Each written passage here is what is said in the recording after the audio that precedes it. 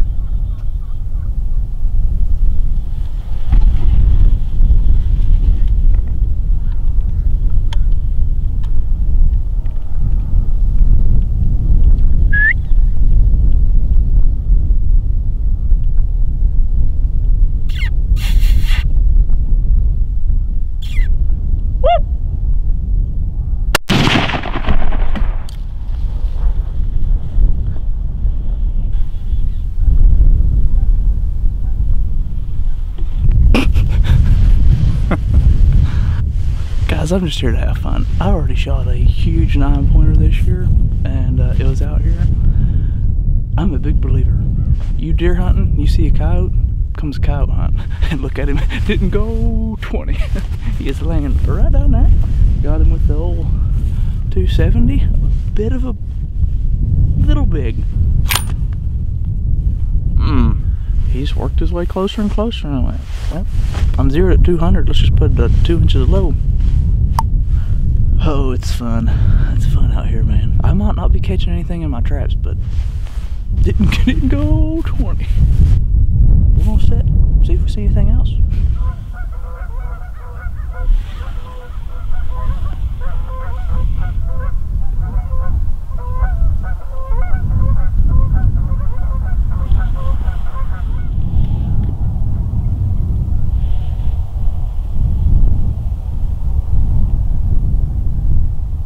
Well, guys, it's uh, 9 o'clock. The only deer I've seen have been out in that cornfield, and it has been mostly does. This little two year old buck came out there pushing a young doe, but uh, other than that, I have not seen anything. And the wind is really picking up, which is making me a little uncomfortable.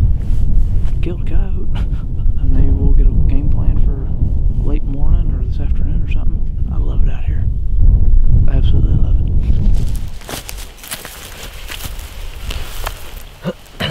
Well, guys, here's our uh, coyote that we shot. a uh, younger dog.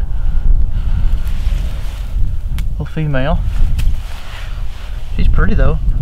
Real furred up. She's guard hairs are coming in nice for this winter. She's a nice dog. Really nice dog. Uh, I'm that 270 had like no entrance, and that's what it had on that deer that uh, Aaron shot. I'm kind of curious to see what the exit looks like though. yeah. There's that coat. Gorgeous animals. All right, guys. And outdoors. Stick with us. We keep doing everything we're doing.